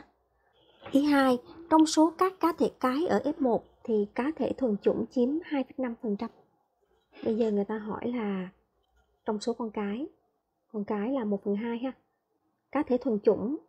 Thuần chủng thì a lớn a nhỏ là với nhau mà đa thuần chủng có phải là a lớn a lớn cộng với a nhỏ a nhỏ không các bạn? Và cái phép lai ở bên giới tính x á, thì con cái thuần chủng nó chỉ có thể là như này thôi. Ta phải tính tỷ lệ này. Thì đồng hợp a lớn a lớn và a nhỏ nhỏ có phải là 1 phần 2 không? Và cái ờ, uh, xb lớn là xb lớn d lớn là do tự hoán vị là bằng 0,1 còn cái xb lớn bên kia là 1 phần 2 và ta đem ta chia cho 1 phần 2 con cái. Thì nó sẽ là 0,1 chia 2 nó sẽ là 0,05 hết các bạn. Tức là nó sẽ là 5% chứ không phải là 2,5% ý này sai. Ý 3 tần số hoán về gen là 30% sai rồi các bạn? Tần số hoán về gen là 20% tại vì ta tính xbd là 0,1 thì f bằng 2 lần xbd nó sẽ là 0,2 mới đúng. Ý này sai luôn nha. Ý 4 nếu cho con cái ở P là phân tích. F A có tỷ lệ, có được lông vàng đuôi ngắn là nếu đem con cái ở P là phân tích, con cái ở P đây là dị hợp chéo? Mà lai phân tích thì có phải là lai với đồng hợp lặng a nhỏ a nhỏ và xb nhỏ d nhỏ y ha? Thì là fa có tỷ lệ con đực lông vàng đuôi ngắn lông vàng nhé các bạn. Ta có vàng đây. Và ngắn ở đây. Vậy thì con đực. Con đực vàng ngắn. Nếu mà ghi về kiểu hình không á ta sẽ ghi là vàng đây. Ngắn đây. Cái phép hai trên này. À, nó sẽ cho ra a lớn gạch là bao nhiêu? Có phải là 1 phần hai không? A lớn a nhỏ là với a nhỏ nhỏ ra 1 phần hai, a lớn gạch. Và phép line này cho y là 1 phần 2 còn x b nhỏ d lớn là giao tử liên kết. Giao tử liên kết. Giao tử hóa vị là 0,1 thì giao tử liên kết là 0,4 nhân cho y là 1 phần 2 thì 0,4 chia 4 là 0,1 ha. Ở dưới này ở dưới này ta sẽ có là a nhỏ nhỏ là 1 phần 2 a lớn a nhỏ là a nhỏ nhỏ ra a nhỏ nhỏ 1 phần 2 nha còn xb lớn d lớn là giao tử. Hoán vị giao tử hoán vị là 0,1 nha. Y là 1 phần 2 thì nó sẽ là 0,1 chia 4 ha. 0,1 chia 4 đó là 0,025 là 2,5% ta có 0,1 cộng cho 0,025 12,5% chứ không phải là 22,5 nha các bạn. Cho nên y4 là sai như vậy. Cả bốn ý đều sai ý không đúng thì đáp án là câu C nha câu 118 ở người. Gen quy định tính trạng hói đầu bị ảnh hưởng bởi giới tính. Phụ nữ có kiểu gen B lớn B lớn thì bị hói. Tuy nhiên phụ nữ B lớn B nhỏ B nhỏ B nhỏ thì không hói. Người đàn ông có kiểu gen đồng hợp trội và dị hợp là bị hói. Còn người đàn ông B nhỏ B nhỏ thì không bị hói. À, ta có thể ghi chú lại cái chỗ này ha các bạn. Ở nữ giới á, thì sẽ bị hói. Nếu như mà có kiểu gen là B lớn B lớn. Còn nếu mà không hói thì có hai kiểu gen. À, trong khi ở người nam á thì khi bị hói thì là có hai kiểu gen đồng hợp trội và dị hợp đều hói. Còn khi mà không hói thì chỉ có duy nhất một kiểu gen thôi. Mà ta nhìn nhận là nếu nữ hói là đồng hợp trội và nam không hói là đồng hợp lặng là ta có thể nhận biết ngay chính xác kiểu gen của họ ha tiếp theo là yếu tố RH là do gen R quy định. Kiểu gen của người RH trừ là đồng hợp lặng người RH trừ là đồng hợp lặng còn người RH cộng tức là à, tính trạng trội sẽ là đồng hợp trội hoặc là dị hợp. À, do vậy tất cả những cái người mà có RH trừ thì ta sẽ biết chính xác kiểu gen là đồng hợp lặng ha. Khi một người phụ nữ RH trừ đồng hợp lặng mang thai đứa trẻ mà ờ, à, RH cộng á, thì hệ miễn dịch của người phụ nữ có thể tạo ra kháng thể kháng lại RH cộng của thai nhi trong lần mang thai thứ hai và có thể dẫn đến cái chết của thai nhi Hiện tượng này được gọi là sự không tương thích RH. Sự không tương thích RH ha các bạn. Nó xảy ra khi mà người mẹ người mẹ RH trừ, rồi nhỏ rồi nhỏ ha. Và mang thai đứa trẻ RH cộng nha. Hai gen này cùng nằm trên một cặp nhiễm sắc thể thường và cách nhau à, 20 cm với tần số hoán vị là 20%. Ta có cái bảng dưới này hai vợ chồng Yến và Linh. Vợ là Yến và chồng là Linh. Đến tư vấn di truyền, à, bác sĩ thu thập dữ liệu như thế này về hói và tình trạng RH. À, Yến đây và Linh đây hết các bạn. À, về tình trạng hói đầu thì ta nhanh chóng à, biết được à, những cái người phụ nữ mà hói là B lớn B lớn ha. Hói cái chỗ mà phụ nữ là mẹ của Yến là B lớn B lớn nè. Mẹ của Linh cũng B lớn B lớn ha các bạn. Và người đàn ông mà không hói là đồng hợp lặng thì ở đây sẽ có là bố của Yến là không hói bố của Linh cũng không hói. Như vậy bố mẹ của Yến là đồng hợp trội với đồng hợp lặng thì ta sẽ suy ngược lại có phải là Yến sẽ là B lớn B nhỏ ha các bạn? Bố mẹ Yến đồng hợp thì Yến là dị hợp B lớn B nhỏ. Và tương tự như vậy, bố mẹ Linh cũng đồng hợp thì Linh sẽ là B lớn B nhỏ nha. Rồi về tình trạng RH thì những người RH trừ là đồng hợp lặng nè. Còn Yến thì RH cộng, Yến RH cộng thì là R gạch nhưng mà bố của Yến là đồng hợp lặng cho nên Yến bắt buộc phải là à, Yến phải là dị hợp hết các bạn? Bố của Yến phải cho đây. Còn mẹ của Yến là R lớn R lớn hoặc R lớn R nhỏ ha? Linh thì là R nhỏ R nhỏ.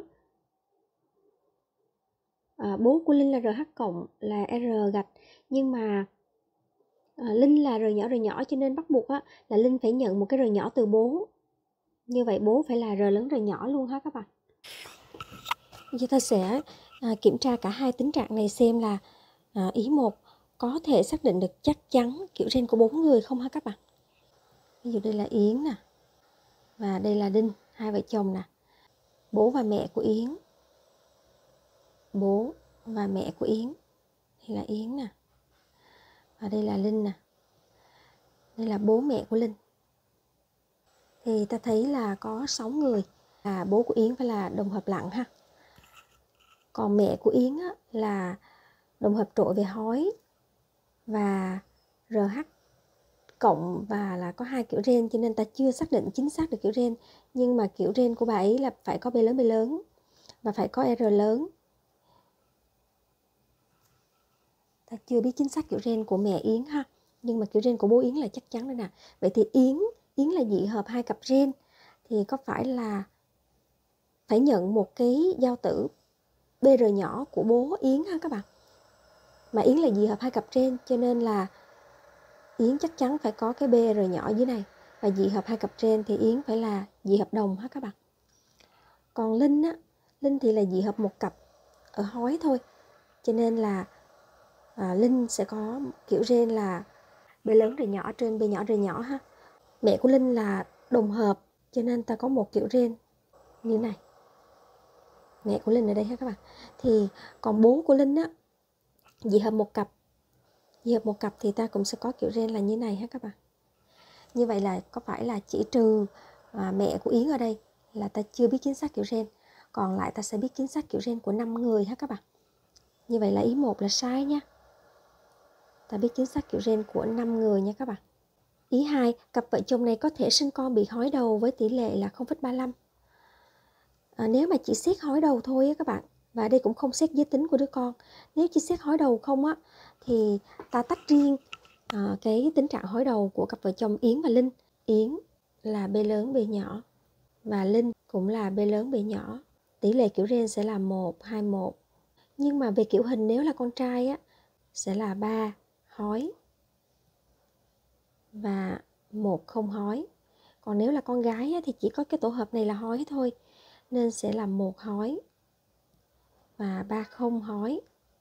Và nếu ta tổng hết ta không có xét về giới tính thì có phải là 4 4 không các bạn? 4 hói 4 không. Tức là tỷ lệ sẽ là một hói và một không hói. Cho nên là cái tỷ lệ mà hói đầu ở đây con sẽ là 50% 0,5 ha. Cho nên ý hai là một ý sai nha các bạn. Ý ba xác suất con gái của họ. Ở đây người ta không hỏi xác suất sinh con gái ha các bạn mà là xác suất con gái của họ tức là đã sinh rồi ta không nhân xác suất con trai con gái một phần hai gì ở đây nữa nha các bạn xác suất con gái của họ có thể phải đối mặt với sự không tương thích RH là 0,5 tức là hỏi là uh, xác suất con gái của họ rời nhỏ rời nhỏ là bao nhiêu á ha hỏi rời nhỏ rời nhỏ nè vậy thì ta xem là ta cũng tách riêng cái tính trạng RH ra nha các bạn với uh, tính trạng RH thì Yến á, là R lớn R nhỏ và Linh là R nhỏ R nhỏ thì có phải phép la này ra tỷ lệ 11 hả các bạn? Thì có phải là uh, tỷ lệ không tương thích là R nhỏ R nhỏ là 1 phần 2 là 0,5 là đúng rồi ha các bạn? Đúng rồi. Ý 4 xác suất con gái của họ có tiềm năng không tương thích RH đồng thời bị hói đầu. Cũng giống như ý ba là đã sinh con gái rồi ha các bạn? À, hỏi xác suất con gái này là tiềm năng không tương thích tức là rời nhỏ rời nhỏ nè và bị hói đầu bị hói đầu tức là phải là b lớn b lớn ha các bạn? Ta hỏi tỷ lệ này là bao nhiêu ha các bạn? B lớn rồi nhỏ của yến là do tử hoán vị bằng f chia 2 và cái giao tử b lớn rồi nhỏ của linh là 1 phần 2 f là 0,2 trên cái đề lúc nãy nói f bằng 0,2 như vậy f chia 2 sẽ là 0,1 sẽ bằng là 0,05 ha các bạn? Đúng ra ha. Như vậy y 4 đúng. Có hai y đúng là ý 3 và ý 4 đáp án là câu A. Câu 119 một đột biến điểm xảy ra ở giữa gen làm cho alen A lớn biến thành alen A nhỏ. Trong đó chuỗi mRN của alen A nhỏ bị thay đổi cấu trúc ở một bộ ba. Một bộ ba nha. Dẫn đến axit amin là alanin được thay bằng threonine. Và biết rằng alanin á, thì mã hóa bởi bốn cái bộ ba như ở đây. Còn cái threonine thì được mã hóa bởi những bộ ba phía sau này một đây là dạng thay thế một cặp nu. XG trong gen A thành ra một cặp nu TA trong gen A nhỏ. Ta kiểm tra ha các bạn. Thì có phải là uh, ở trên gen A lớn là alanin thì ở gen A nhỏ sẽ là threonine? Thì ta thấy là các cái bộ ba các cái cô đông này á nó chỉ khác nhau ở nu đầu tiên là G thôi. GXU ASU GXX đây. Đây bạn có thấy là các cái cô đông mã hóa alanin và threonine này nó chỉ khác nhau ở cái nu G và cái nu A thôi. Alen này là alen A thì cái mRN đó, nó là RG thì ở alen A nhỏ mRN của alen A nhỏ nó sẽ là RA trong quá trình phiên mã mạch bản gốc sẽ làm khuôn để tạo ra mRN thì nó phải là X không nó bắt cặp bổ sung. Alen A nhỏ thì trên mạch gốc thì nó sẽ là T ha các bạn. T sẽ à, liên kết với RA trong quá trình phiên mã để tạo ra mRN á, thì có phải là trên alen A lớn ban đầu trên mạch gốc là X thì ở alen A nhỏ trên mạch gốc nó sẽ là T. Và ta kéo theo cái mạch bổ sung thì có phải là ở trên gen có hai mạch mạch bổ sung và mạch gốc thì nó sẽ là XG và ở đây sẽ là TA không các bạn? Như vậy nó sẽ thay thế cái cặp XG thành ra cặp TA ở đây. Để biến cái A lên A lớn thành A nhỏ là thay thế XG thành TA nha. Như vậy đáp án ý một là đúng rồi. Ý hai khi cái A lên A lớn nhân đôi một lần thì cần môi trường nội bào cung cấp à, 400 nu loại T thì à, A lên A nhỏ nhân đôi hai lần sẽ cần môi trường cung cấp là 1203 nu loại T. Khi mà A lên A lớn mà nhân đôi một lần á, cần môi trường cung cấp 400 loại T. Tức là ở cái A lên A lớn á, T nó sẽ là 400 luôn ha các bạn. nhân đôi một lần thì số nu uh, cung cấp chính là bằng số nu của cái phân tử trên cái gen đó luôn. Thì ta thấy là vì là đột biến thay thế X thành T ở đây nè. Cho nên là ta thấy ở cái gen A nhỏ đó, T nó phải là tăng lên một không? Nếu T bên đây là 400 thì bên đây t sẽ bằng là 401 ha các bạn. Và do vậy khi nhân đôi hai lần t tự do môi trường cung cấp sẽ là t nhân 2 mũ 2 trừ 1 thì ta thế 401 vào nhân cho 3 thì nó sẽ ra đúng là 1203 nha. Ý 2 đúng. Ý 3. Khi A lên A phiên mã hai lần, thì môi trường cung cấp 420 nu loại X A lên A phiên mã hai lần, phiên mã là quá trình tổng hợp ra ARN nè các bạn mà phiên mã hai lần thì cần 420 nu loại X, tức là nếu là phiên mã một lần á, nếu A lên A mà phiên mã một lần thì số nu loại X là 210 không? Thì A lên A nhỏ phiên mã một lần cũng sẽ cần số X tương tự luôn ha các bạn. A lên A nhỏ cũng sẽ cần số X là 210 luôn nha. Cho nên ý này là một ý đúng ha các bạn. Vì sao? Cái quá trình đột biến từ A lớn thành A nhỏ thì nó chỉ ờ, liên quan tới G và A thôi. Nó không liên quan tới X. Đó, cái số G nó phải giảm đi một và cái số A này nó phải tăng lên một nó chỉ liên quan tới G và A thôi chứ không liên quan đến U và X nha các bạn không liên quan đến U và X cho nên cái RX nó vẫn là 210 RU và RX thì bằng RU và RX ở bên A lên A lớn ha. Và do vậy, ở cái y số 4 là trên MARN do gen A nhỏ tổng hợp á thì chỉ có A với X thay đổi không phải ha các bạn. Chỉ có A với G thay đổi chứ không phải là AX nha, X không thay đổi nha. Như vậy là có 3 ý đúng là ý 1, 2, 3 đáp án câu bờ. Câu 120.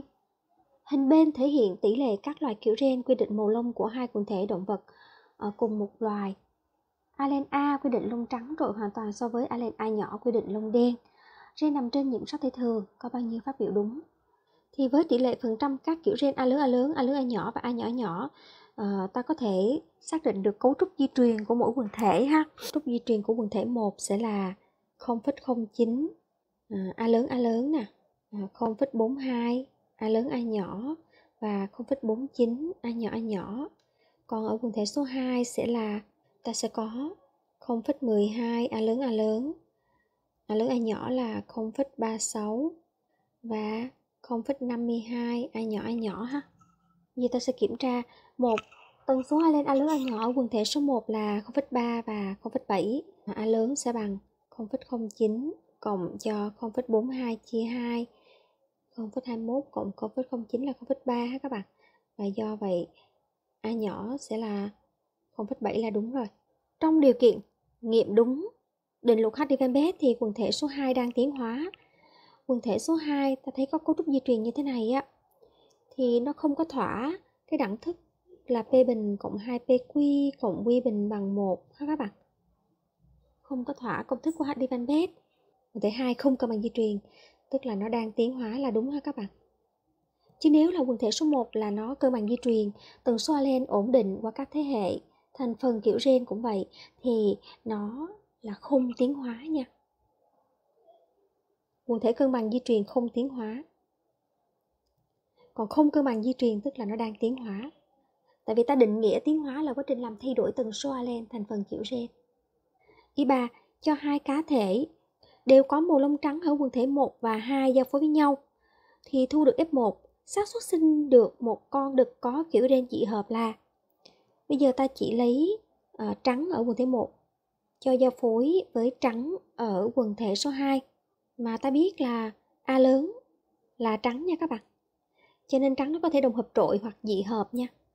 Như vậy ta sẽ tính lại tỷ lệ kiểu gen để chọn xác suất một con màu trắng ở quần thể 1 là đồng hợp hoặc là dị hợp là như thế nào nha. Đây, ta sẽ chia lại tỷ lệ như này. Tương tự như vậy, ta sẽ chia lại tỷ lệ ở đây và có phải là ta tính giao tử chỗ này có phải là 7 phần 17 A nhỏ và 10 phần 17 A lớn không? Còn bên đây sẽ là 3 phần 8 A nhỏ và 5 phần 8 A lớn. Và ta nhân giao tử hết các bạn. Thì ta sẽ ra được tỷ lệ dị hợp nha. À, dị hợp thì có phải là con đực nữa nha các bạn. Đây ta sẽ bằng là 1 phần 2 nhân cho A lớn bên đây kết hợp với bên đây. Và này với này nha. 10 phần 17 nhân 3 phần 8 cộng 7 phần 17 nhân cho 5 phần 8 thì ta sẽ tính được là 65 phần 272 là ý đúng rồi ha các bạn. Ý 4 cấu trúc di truyền của quần thể 2 đang cân bằng. Hồi nãy ta đã nói là quần thể 2 là không cân bằng ha các bạn. Ý 4 sai như vậy. Câu 120 là có 3 ý đúng là ý 123. Đáp án là câu C nhé. Như vậy cô vừa ờ, uh, chữa cho các bạn đề thi thử Trung học phổ thông quốc gia năm 2022 của trường Trung học phổ thông chuyên thuộc Đại học Vinh. Chúc các bạn ôn thi thật là hiệu quả nha. Mến chào các em.